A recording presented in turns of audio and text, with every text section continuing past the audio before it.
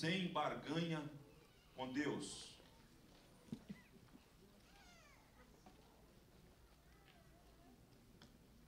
Eu vou ler introdutoriamente ah, do verso, ah, verso 8 até o verso de número 18. Depois você mantém a sua Bíblia aberta e nós vamos extrair as lições dessa narrativa, desse texto da Escritura.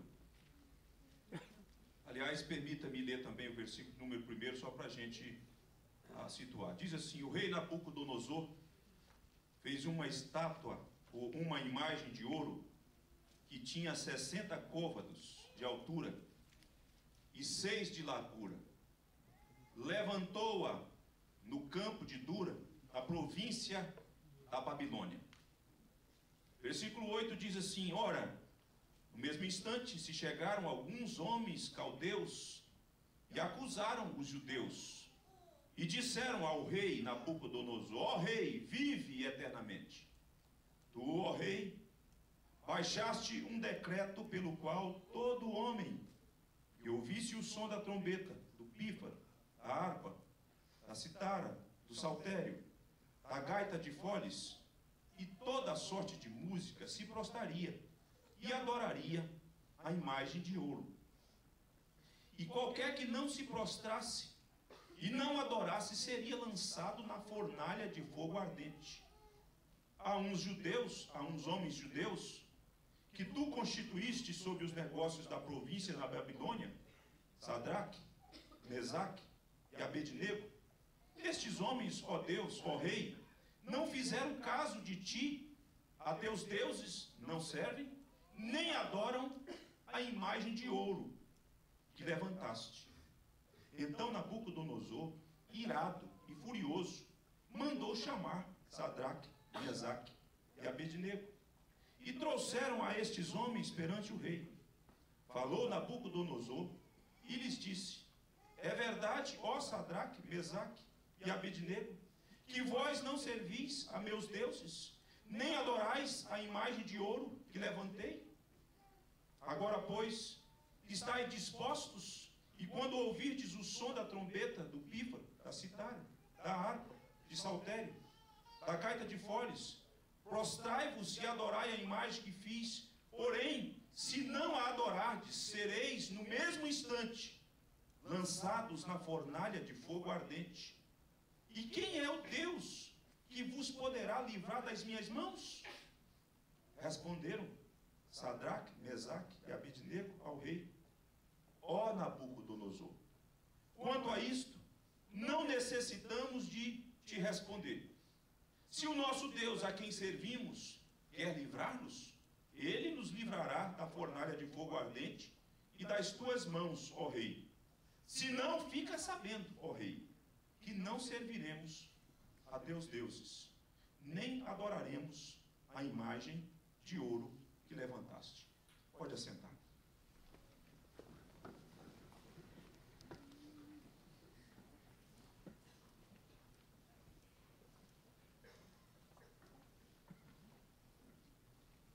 Imagine que, próximo da repartição pública ou da empresa privada onde você trabalha, ou em qualquer outro setor, durante alguns dias você percebe que tem alguns homens que estão construindo uma grande estátua. E você então não entende ou não sabe o porquê ou qual o propósito daquele monumento. E talvez por algum tempo você pense: olhe, ah, isso trata-se de apenas uma homenagem, ou de um monumento apenas para representar de modo simbólico alguém, como foi o caso a, da estátua que foi inaugurada na Índia, ainda nesse, nesse ano recentemente, com 182 metros de altura. Mas, para o seu espanto, você que pensava que aquela obra tinha apenas esse caráter, não estava inteirado dos detalhes do principal propósito. E então, numa manhã de segunda-feira, você chega no seu trabalho e você é informado que a partir de então, que aquele é o dia da inauguração, e que a partir de então, a autoridade daquele setor que você trabalha, que você presta os seus serviços, realiza a sua vocação, ela então tem uma lei, um decreto que diz que todos os dias da sua vida, todas as manhãs antes de você iniciar as suas atividades, você deverá venerar aquela imagem, você terá que se curvar diante dela e adorar aquela imagem. O que você faria? Ou pensa que faria? Qual seria a sua decisão diante de um contexto em que é sabido por todos nós que predomina uma crise aguda? Diante dos ganhos que você tem, talvez o seu bom salário que Deus lhe concedeu ter, uma boa remuneração, e o seu chefe diz: olhe, aquele que assim não proceder, que não acatar tal instrução, tal decreto, será imediatamente despedido, desligado deste setor. O que você faria? Ou pensa que faria? Nós estamos, meus irmãos, diante de um texto de homens como eu e você, de carne e osso, de pessoas que tinham os mesmos sentimentos que nós temos, e que serviam o mesmo Deus a quem nós servimos e adoramos, mas que não estavam isentos das ameaças, das hostilidades e das pressões que existem por parte daqueles que não acreditam em Deus, naqueles que querem a glória para si e não querem transmiti-la a Deus. E esse texto, dentre as muitas lições que nós podemos extrair, nós podemos olhar para esse texto e perceber para essa realidade religiosa na qual nós estamos inseridos, e perceber que a fé destes homens era uma fé robusta, era uma fé que não estava disposta a negociar e a abrir mão das suas convicções e dos seus valores. E por que isso é importante? Porque nós vemos no contexto religioso brasileiro um tipo de manifestação de fé que é uma fé retributiva ou que aguarda uma retribui retribuição por causa daquilo que ela evidencia. O tipo de fé que permeia a vida das, das pessoas e do evangelicalismo brasileiro é um tipo de fé que pensa o seguinte: o que, que eu posso ganhar com isso? O que que eu vou lucrar se eu me posicionar assim? Será que Deus vai me recompensar? Será que Deus vai me tornar um homem próspero caso eu me posicione desta forma? Esse tipo de fé que nós estamos vendo na vida desses nossos irmãos não é esse tipo de fé que aguarda uma retribuição. É um tipo de fé que está disposto ou estava disposta a sofrer o dano, caso necessário fosse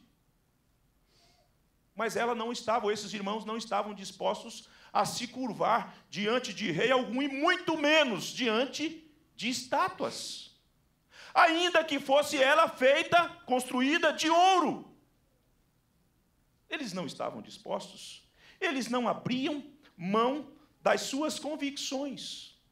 E aqui nesse texto, com a sua Bíblia aberta, nós vamos perceber que logo no versículo 1, no versículo 1 desse texto, como que introdução, como uma introdução, Daniel faz uma descrição deste monumento.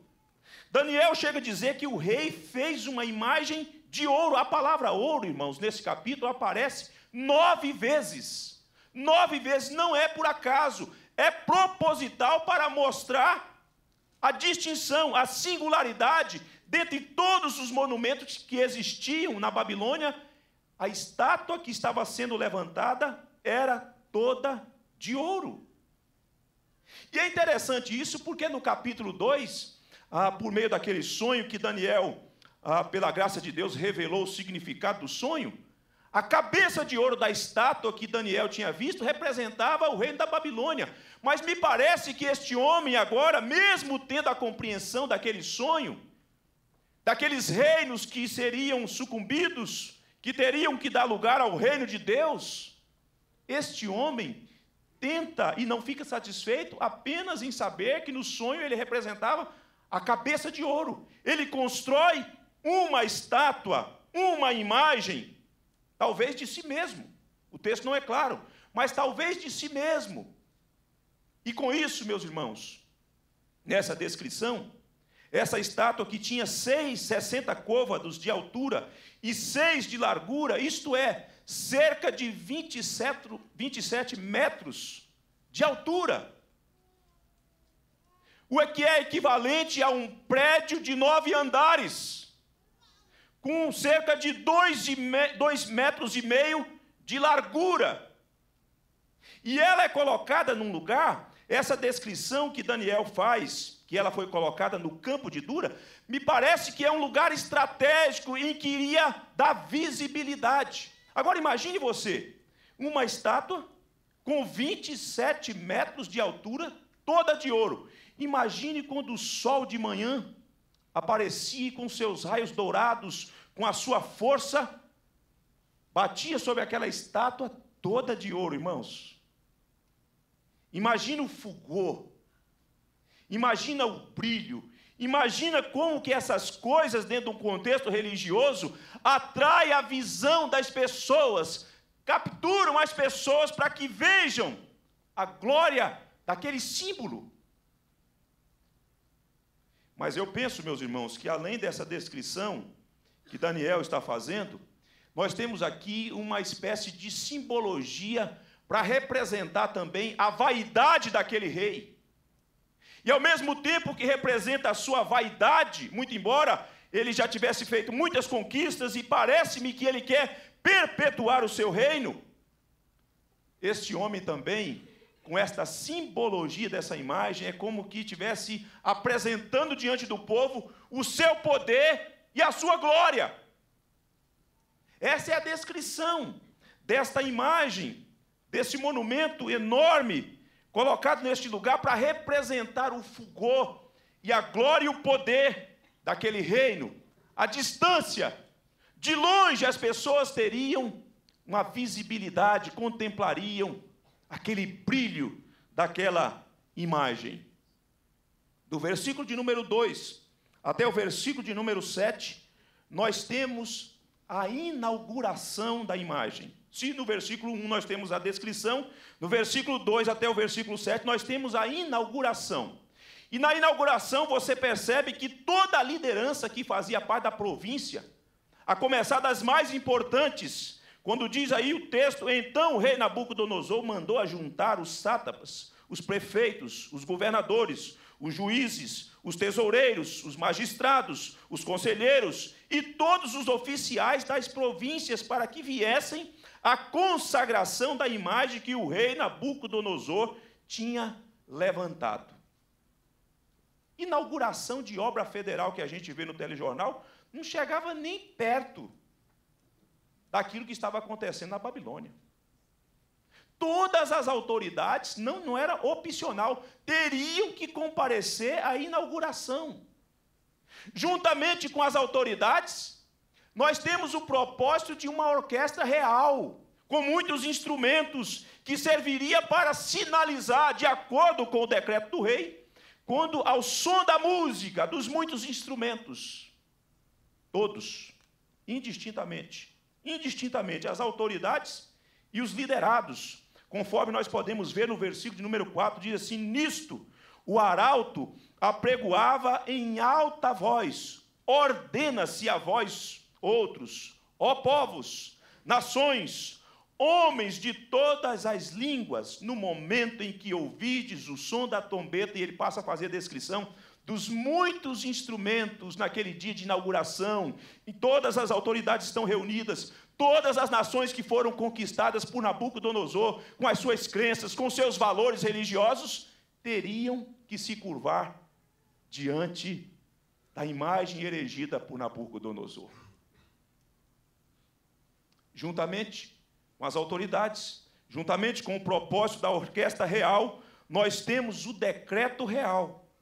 O decreto real rezava o seguinte, no versículo 6: Qualquer que não se prostrar e não adorar, será no mesmo instante lançado na fornalha de fogo ardente.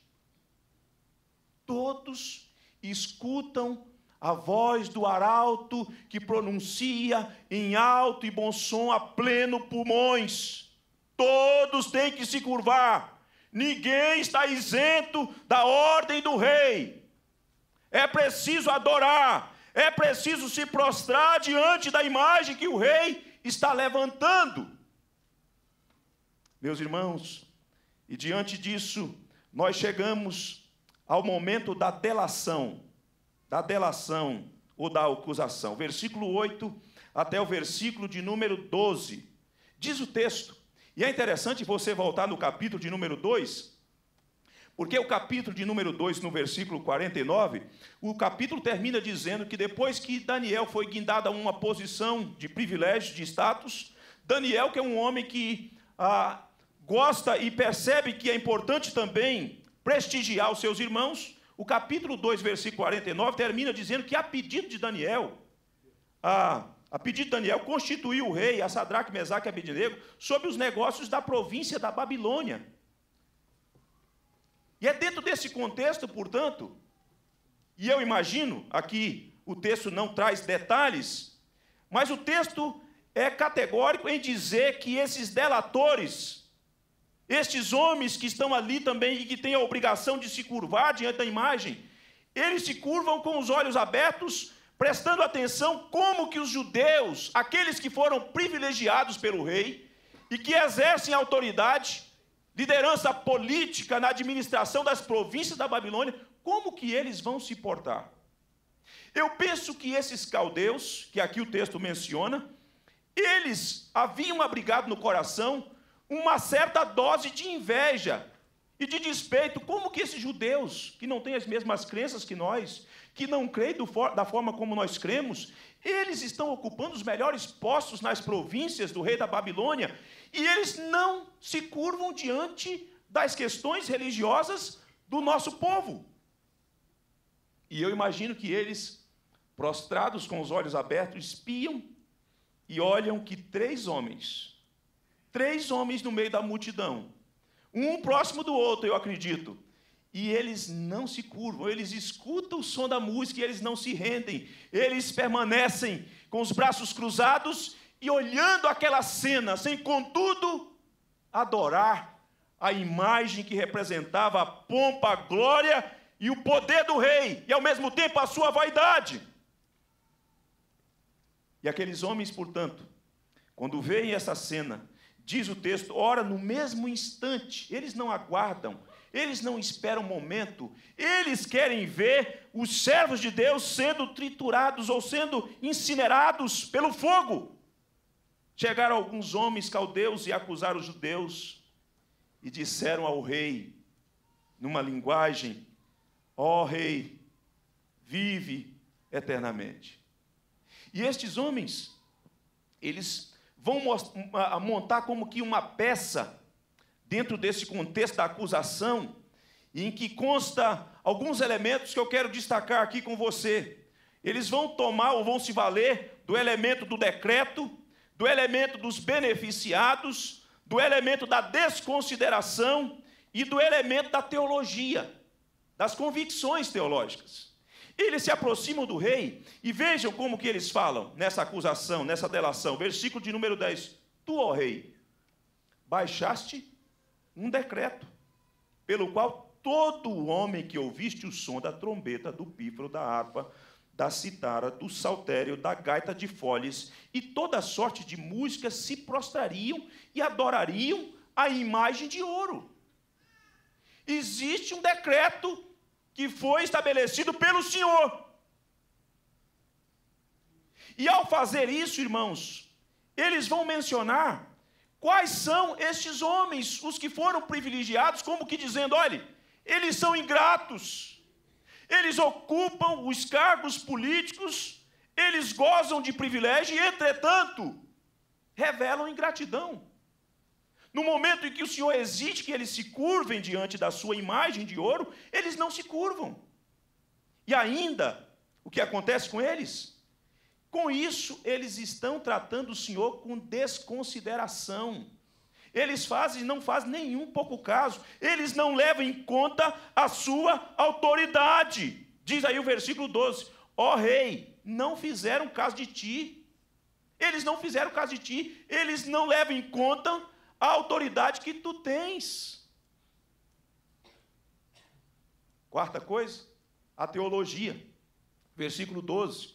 Eles disseram: ah, A teus deuses não servem, nem adoram a imagem, e é interessante que eles falam, não é qualquer imagem, a imagem de ouro que levantaste.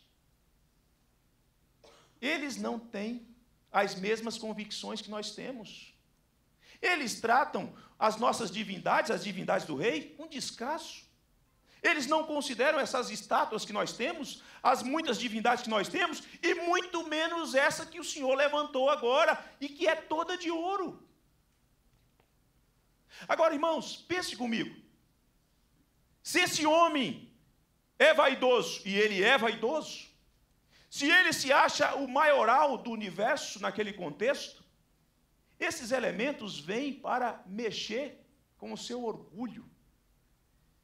Isso atinge em cheio a sua vaidade. Todos estes elementos que são articulados por estes acusadores vêm para atacar e fazer com que ele se sinta ah, desprestigiado dentro daquele contexto. E ao sentir-se desprestigiado, à medida que eles vão contando, o texto inicia no versículo de número 13 até o versículo de número 18, mostrando então que os servos de Deus serão provados. A fé será testada, irmãos. Porque diz o texto, no versículo de número 13: Então Nabucodonosor, veja só, ele é um rei, ele é uma autoridade, ele é vaidoso.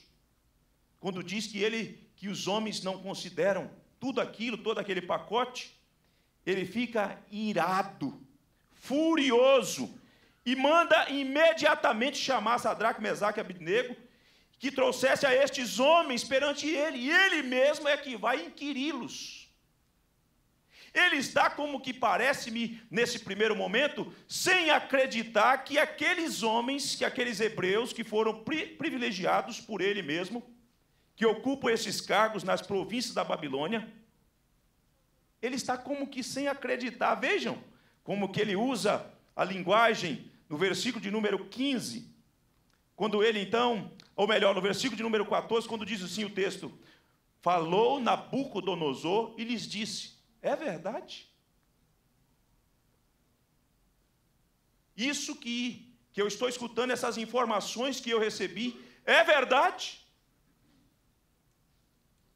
Ele está como que sem acreditar na situação, e ele mesmo vai fazer a inquirição destes servos de Deus para constatar se aquilo procede de fato.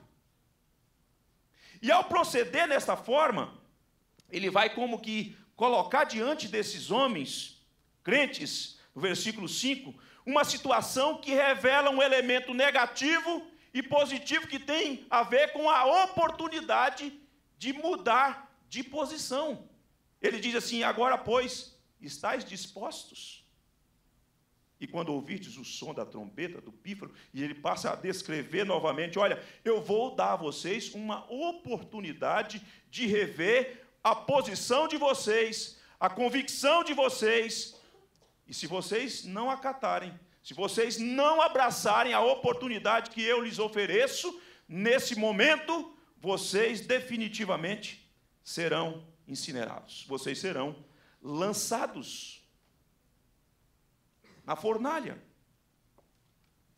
E aqui, irmãos, nós vemos o seguinte, nesse contexto. o aspecto a positivo é que ele está dizendo o seguinte: se vocês mudarem de posição, o livramento será dado, vocês não serão punidos. Eu vou ignorar esta primeira etapa. Só que a segunda, o segundo elemento que é negativo é uma armadilha. Porque fazê-lo acatar esta oportunidade que o rei oferece é uma armadilha do diabo, porque para isso eles teriam que negar ao Senhor Deus. Eles teriam que abandonar as suas convicções, os seus valores. Isso é uma armadilha. Às vezes o diabo sutilmente coloca situações diante de nós, pensando e fazendo com que você pense que o melhor é tomar uma outra rota, que aquilo será melhor, que aquilo será confortável. É a armadilha do diabo, irmão. Ele é estrategista.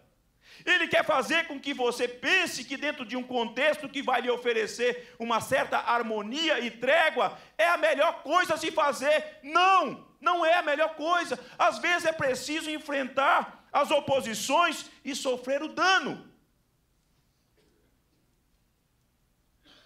Mas esse homem, ele, além de se posicionar, além de proceder com a sua tirania, com a sua força que ele tem por ser autoridade, ele faz uma pergunta a estes homens, a estes nossos irmãos: ele diz assim: E quem é o Deus que vos poderá livrar das minhas mãos? Aqui nós vemos três coisas, irmãos. Primeira coisa é o seguinte: ele se coloca acima de Deus. Ele se acha maior do que Deus. Eu quero ver quem é que pode livrar vocês das minhas mãos. A segunda coisa, ele questiona a existência de Deus. A terceira coisa, ele questiona o poder de Deus. Só, meus irmãos, que eu penso que ele não imaginava que aqueles irmãos estavam convictos de que a existência de Deus não se prova por conta daquilo que Deus faz por mim, não é porque Deus faz ou deixa de fazer que isso comprova que Deus existe. Não é porque Deus faz ou deixa de fazer que isso prova que Ele tem todo o poder. Não! Deus é livre para fazer e não fazer. Mas, irmãos, esta mensagem e este, e este modo de ler e de compreender quem Deus é e que Nabucodonosor não compreendia, vai na contramão de muita coisa que nós escutamos no contexto religioso brasileiro. Porque as pessoas pensam que para elas servirem a Deus voluntariamente, é preciso que alguma coisa aconteça para que elas então entendam isso como demonstração de favor e de poder. Não é assim, Deus não barganha suas bênçãos, Deus não negocia suas dádivas, Deus é livre para fazer e não fazer, Ele é soberano, Ele não está debaixo do comando da oração de ninguém. Aquelas coisas que a gente escuta no contexto religioso, eu determino, eu não aceito, isso é balela. Deus não é garçom. Deus é livre. Deus está acima de tudo e todos. Deus governa de um alto e sublime trono. E os nossos irmãos compreenderam isso. A fé estava sendo testada, meu irmão. Às vezes a fé que você professa ter no nosso Senhor Jesus Cristo, ela é colocada à prova para saber qual é o fundamento dela, para saber qual é a base da sua fé. Às vezes nossa fé é testada para saber e para nos provar o que é mais importante para nós, o que tem mais valor para nós. Certa feita, Deus chegou para Abraão, depois de muito tempo, cerca de 25 anos, Deus havia prometido a Abraão que iria dar a ele um filho. E foi ter esse filho só quando ele então teve, completou 100 anos. O menino cresce, chega na adolescência e Deus chega para Abraão e fala assim: Abraão, me dá o teu filho a quem tu amas. Eu quero que você saiba que não é Ismael, é Isaac. Leva-o ao Monte Moriá e sacrifica-o. A fé de Abraão estava sendo testada para saber qual é o cerne do amor de Abraão: o filho ou Deus. Quem é mais importante, Abraão, para você? Quem ocupa a centralidade do teu coração, teu filho ou eu? Estes irmãos aqui, numa outra esfera, num outro momento, numa outra circunstância, enfrenta isso. Mas o teste da fé aqui é a vida de cada um deles. O que é mais importante para vocês? A vida de vocês ou a minha reputação? É a reputação de Deus que estava em jogo. O que é mais importante? Viver e negar o Senhor Deus ou morrer pelo Senhor Deus? O que importa para vocês? A vida? A vida é mais importante? Ou o nome de Deus? Quantas vezes, irmãos, irmãs, nós somos, somos testados também na nossa fé? Talvez ninguém pede você e ninguém ameace você dizendo que você vai ter que morrer, mas às vezes você tem sucumbido em coisas pequenas, em estátuas que não chegam nem perto à estátua que foi erigida e construída por Nabucodonosor. Talvez seja pequena, talvez seja uma estátua imaginária dos seus sentimentos, talvez seja um ídolo pequeno, o materialismo, o hedonismo, essas coisas que faz com que você se curve diante do som da música, diante dos desejos do teu coração, e você tem negado o Senhor. Porque você julga que essas coisas são mais importantes.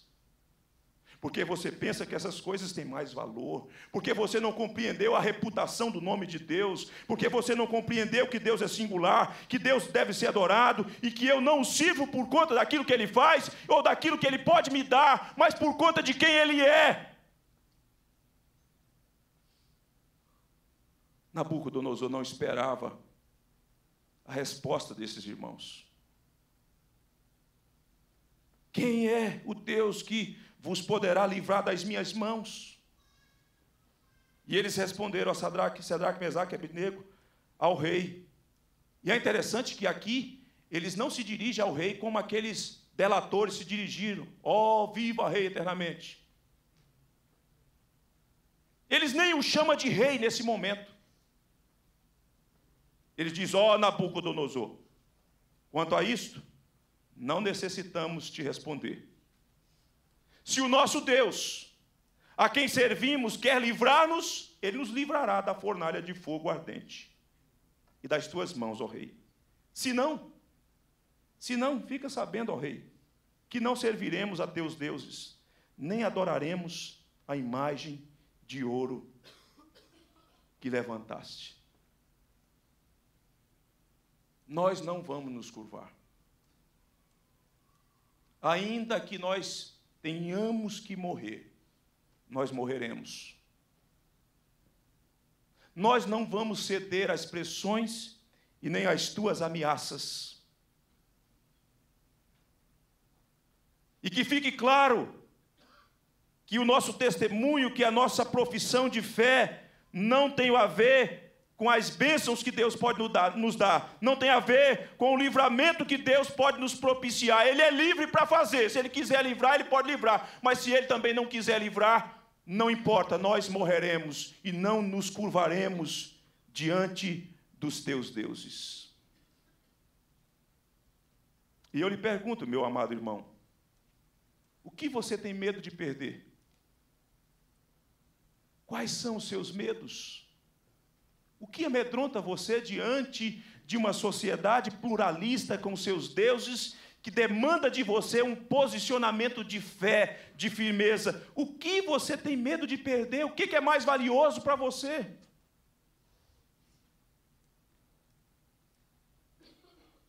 O que é mais importante?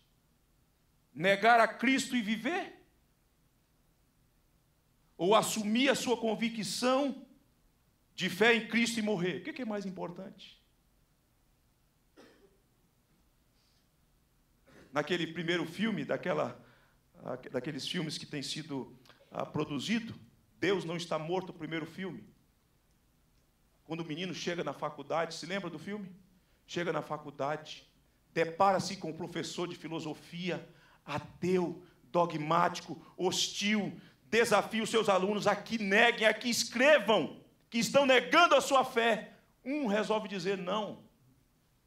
Mas ele está noivo, ele está namorando. A moça aguarda que aconteça o casamento, a moça percebe que se ele não negar, talvez esse casamento não aconteça. Porque o curso vai demorar, ele vai ficar travado no curso.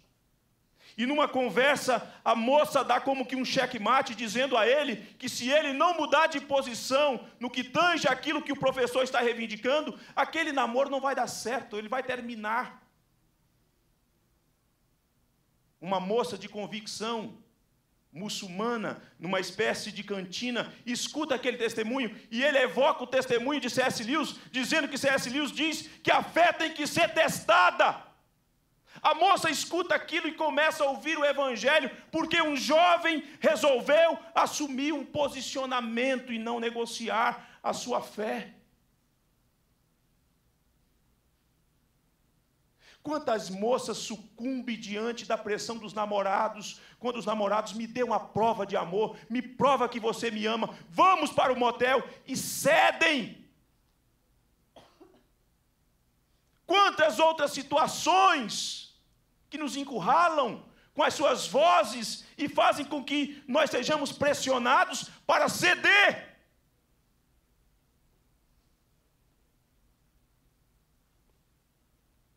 Uma amiga minha disse certa feita, mas é uma amiga de quase 80 já. Ela disse, pastor, eu fiquei noiva na minha adolescência. Naquele período, pastor, as meninas quase que não tinham oportunidade de estudar. Meu pai, na região onde nós estávamos, era quase que uma singularidade naquele contexto. Meu pai me mandou para um colégio interno, colégio presbiteriano, e citou o nome da cidade. E ela disse que foi aproximando a data do casamento. E o noivo, o melhor partido, irmãos, filho de fazendeiro, o melhor partido da região, chegou para ela e falou assim: Nós vamos nos casar e eu tenho duas exigências para você. A primeira exigência é que você saia do colégio interno. Você não precisa estudar mais. Até aí tudo bem. A segunda coisa, só tinha ela naquele contexto que professava a fé cristã. A segunda coisa, nós não somos dessa religião sua. A segunda coisa, você abandone a sua religião. E ela disse que, com lágrimas, porque ela amava aquele rapaz, ela disse que nunca mais amou ninguém como o amou. E ela disse que tirou a aliança do dedo e disse: quanto à primeira posição, eu estou disposta a sair da escola, quanto à segunda, não. Se essa é a condição e ela não é negociável, então nosso noivado está acabado aqui agora.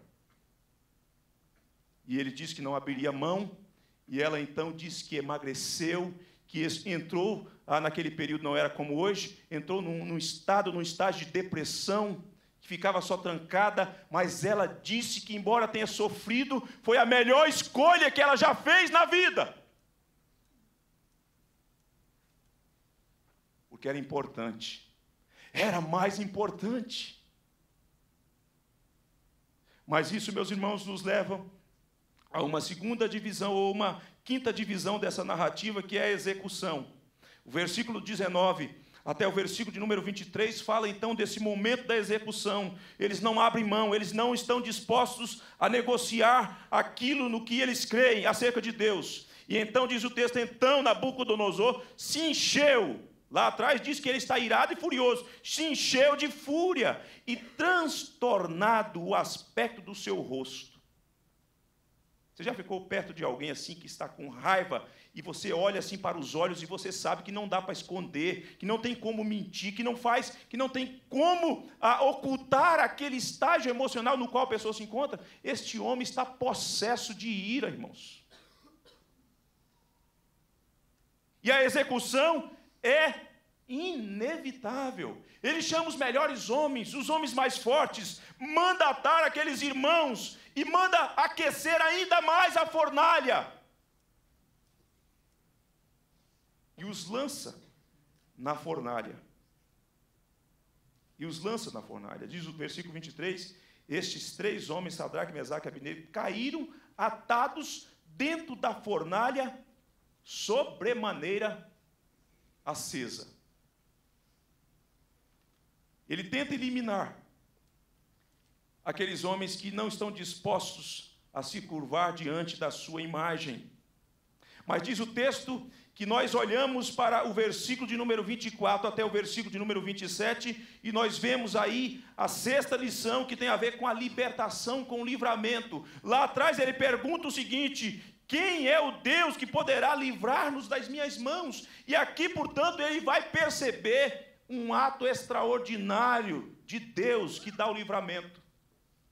Este homem que até então tinha ficado impactado por ocasião em que Daniel tinha ah, trazido acerca o sonho que estava oculto e assim como o significado do seu sonho. E ele então ah, louvor a Deus, reconheceu que Deus é Senhor da história e que Deus é aquele que revela, portanto, os mistérios. Agora ele vai saber outra coisa de Deus. Ele vai saber que aquele a quem ele questionou, que aquele a quem ele pensou que era menor do que ele e que não tinha poder e que questiona a sua existência, é poderoso e é maior do que o fogo. Que se ele quiser salvar alguém, ele salva do fogo. Ele não deixa nem com que os cabelos do sujeito ah, sejam ah, atingidos pelo fogo. Diz o texto no versículo 25 ou 24, então o rei Nabucodonosor se espantou e se levantou depressa e disse aos seus conselheiros: Não lançamos nós três homens atados dentro do fogo? Responderam ao rei: É verdade, ó rei. Tornou ele e disse: Eu, porém, vejo quatro homens soltos que andam passeando dentro do fogo, sem nenhum dano, e o aspecto do quarto homem é semelhante a um filho dos deuses. Então se chegou Nabucodonosor à porta da fornalha, sobremaneira acesa, falou e disse: Sadraque, Mesaque e Abidnego, servos do Deus Altíssimo, sai vinde. Então Sadraque, Mesaque e Abidnego saíram do meio do fogo. Essa fornalha, meus irmãos, acesa, diz o texto que os homens que estavam incumbidos de lançar estes três na fornalha morreram. Os três foram lançados e estão caminhando dentro da fornalha, como que num tour, num passeio, acompanhados de mais uma pessoa que ali se encontra, que é semelhante ao Filho dos deuses. E eles estão protegidos. As amarras foram rompidas, mas as vestes foram mantidas intactas. Quando eu era criança, não é lá em Barbacena, em Barra de São Francisco, tinha aqueles, aqueles momentos de, de festa junina, festa julina, naquela região rural, e a gente saía para ir na casa dos vizinhos, e tinha aquelas fogueiras, e lá pelas tantas, tinha aqueles sujeitos que eram desafiados a transitar em cima das brasas da fogueira. Não sei se alguém aqui da roça como eu já viu esse tipo de coisa, não sei se isso acontece no contexto ah, urbano, mas na, na zona rural isso acontecia muito. Mas, irmãos, tinha alguns gaiatos que saíam com os pés cheios de bolhas. Eles transitavam rapidamente, quase que correndo alguns, mas não eram poupados. Esses homens estão dentro de uma fornalha sobremaneira acesa. E, entretanto, estão protegidos, entretanto, recebem o livramento de Deus, do Deus que protege, mesmo dentro do fogo. Mas eu preciso caminhar para terminar.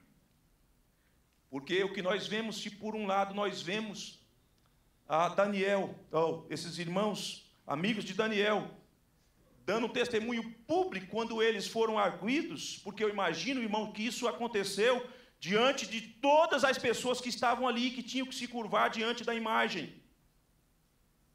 Mas agora nós vemos também o testemunho público do rei, reconhecendo que o Deus destes irmãos é o Deus Altíssimo, é o Deus que traz o livramento, é o Deus que protege os seus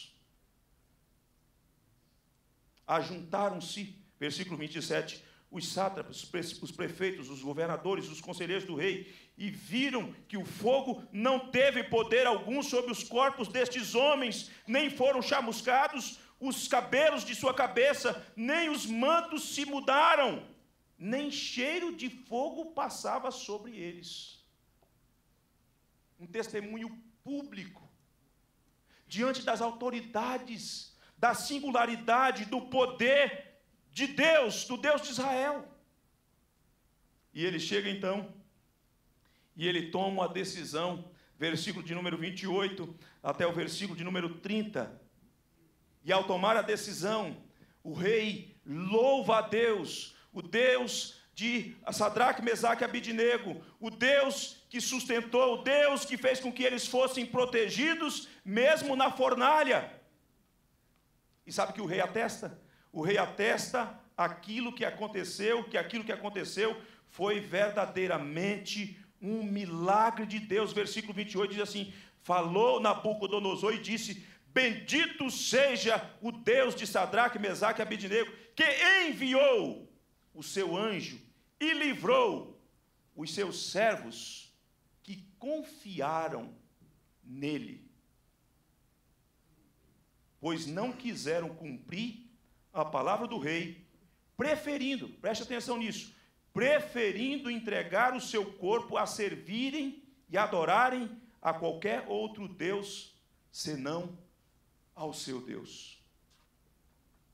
Ele atesta, portanto, ele louva a Deus, ele reconhece que é um milagre de Deus e ele confirma que aquilo que eles fizeram, fizeram por confiança, não por conta do livramento que Deus podia dar, porque eles estavam dispostos, inclusive, a morrer pelo Senhor nosso Deus.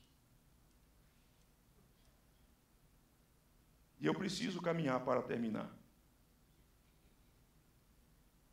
E a pergunta que eu lhe faço nessa noite é: qual é o tamanho da estátua que está diante de você? Ela é física? Ela é imaginária? De que material ela é feita? De metal? De madeira? Como que tem sido a pressão que você tem experimentado no que diz respeito à sua fé? A quem você tem adorado? O que é mais importante para você? Seu próprio nome?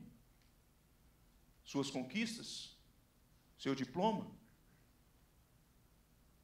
Qual é o ídolo que tem pressionado você, querendo fazer com que você se curve diante de Deus e negue a sua fé que você professa em Cristo Jesus? Qual tipo de ameaça você tem enfrentado e se deparado? Quais os medos que assaltam o seu coração diante desse contexto em que nós nos encontramos? Queridos irmãos, há irmãos que entendem que este quarto é, é, ser que estava na fornalha é uma pré-encarnação do Filho de Deus. Outros teólogos entendem que é um anjo mesmo. Eu penso que o texto não dá evidências suficientes para dizer se é uma coisa ou outra, mas um fato é inegável: Deus estava na fornalha por meio de um agente dele. isso nos faz pensar e entender uma coisa: que quando o povo de Deus estava no Egito, Deus enviou o seu anjo e tirou o povo de lá.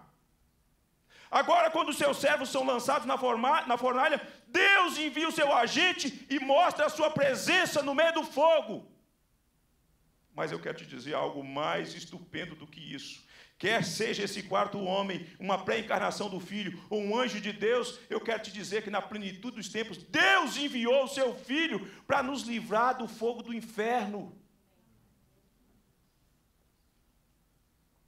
E embora esses homens tenham sido poupados do fogo, o Filho de Deus não foi poupado do fogo da ira de Deus. Deus deixou ele sozinho na cruz. Deus o desamparou por você.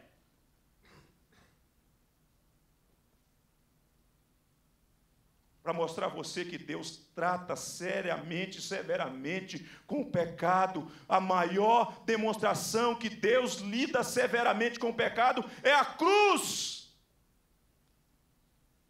Quando Deus não poupou o seu único filho, seu filho santo, seu filho que não tinha nada por que fazer ou por merecer, ele o fez voluntariamente, ele o fez por obedecer a Deus. Estes homens, irmãos nossos, obedeceram a Deus e foram poupados do fogo, mas o filho de Deus foi tentado por Satanás, obedeceu a Deus integralmente e não foi poupado da cruz.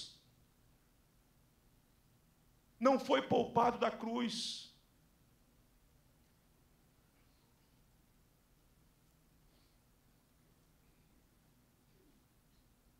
Ele disse a Satanás que só Deus deve ser adorado. Ele trilhou um caminho de obediência, de santidade, e mesmo assim, e mesmo assim, foi para a cruz.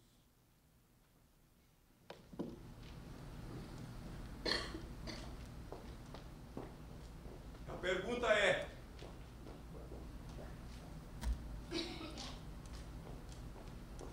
até quando você vai insistir? caminhar sozinho, diante de tudo que Deus fez.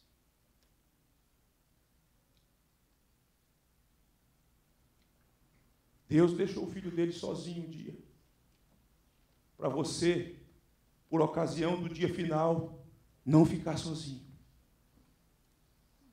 O filho de Deus experimentou o fogo da ira de Deus, para você, no dia final, não experimentar o juízo de Deus a minha esperança. E o meu desejo sincero é que você, nessa noite, tome uma decisão por Jesus Cristo. Adore a Deus, somente a Deus. Volte-se para Deus hoje. Receba o Senhor Jesus como Salvador da sua vida, porque a todos quanto receberam, Deus lhes confere direito de serem chamados filhos de Deus. E então, goze das bem-aventuranças eternas que Deus nos confere em Jesus Cristo, aquele que é a maior demonstração do livramento de Deus para a nossa vida na história. O meu desejo é que você, nessa noite, volte-se para casa com essa verdade alojada no teu coração, que pode dar uma guinada extraordinária na sua existência e na sua história. Eu convido você a ficar de pé para concluirmos esse momento orando com a impetração da bênção. Bendito Deus, louvado seja o nome do Senhor por esse tempo. Abençoe a tua igreja aqui reunida. Alcance os corações e faça com que essa bendita semente frutifique, produzindo muitos frutos frutos dignos de vida eterna. Conceda ao teu povo uma semana de triunfo. Conceda ao teu povo a bênção de se manter firme, de não negociar a fé em Jesus Cristo, nem os valores do reino de Deus. Ajude o teu povo, ainda que perdas tenham que acontecer, porque aqueles que perdem a vida pela causa do Evangelho achará essa vida. Que seja assim também com todos aqueles, ó Pai, que enfrentam pressões neste mundo por conta do testemunho do Evangelho de Jesus. E que a graça do nosso grande Deus, Salvador Jesus Cristo, que o amor de Deus, o Pai, que a comunhão e a consolação do Deus Espírito